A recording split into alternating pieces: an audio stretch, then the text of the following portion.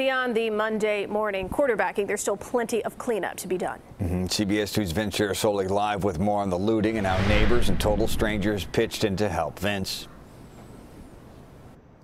Brad and Erica, if you talk to shop owners, they will tell you it was mostly the Loop and River North that were hit by what they consider to be a very coordinated effort. I want to show you some video now that the Chicago Police Department released, and you can see from these various surveillance cameras, most of them in River North and most of them uh, just outside a Nordstrom in a Nordstrom rack. You can see the looters calmly walking by many instances and then pick up heavy objects, smash them right through window, and then go inside and start taking out item after item, whether they were purses, whether they were clothes, whether they were television sets. Uh, apparently, as the business owner said, a very coordinated effort. We talked to more than one business owner who said waiting outside would be a truck or a car, and there were also meeting points apparently where people were dividing up whatever they had a chance to get their hands on. Now I want to show you some video of cleanup and aftermath that our cameras were able to capture, capture throughout the rest of the day. And you, you really get the sense of how businesses were hit, uh, not just once a few months ago, but a second time with this overnight looting. There were instances where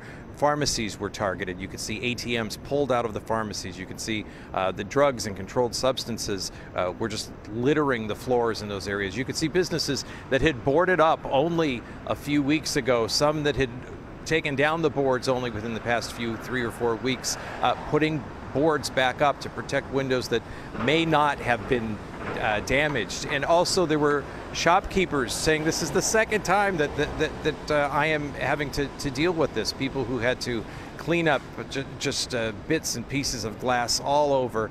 And then there were the neighbors. Neighbors who came out and said they couldn't let this happen without getting involved, without extending a hand to the shopkeepers, pitching in and helping to clean up. Listen to these folks. No, I mean, I think you can let adversity affect you in a negative way or positive. Just going to try and, and, turn this and what we're doing as an example of how you can make a, a, positive impact. And there's a lot of other people helping clean up right now as well, which is inspiring to us. So I'm just glad to help be a part of it, and hopefully it's uh, looking good as new soon.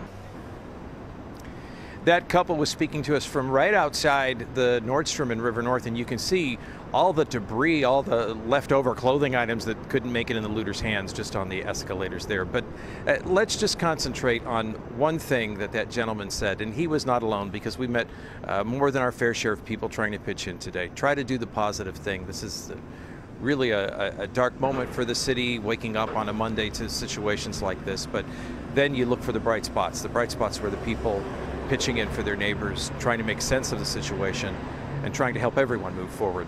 Reporting live in the loop, I'm Vince Gerasole, CBS 2 News.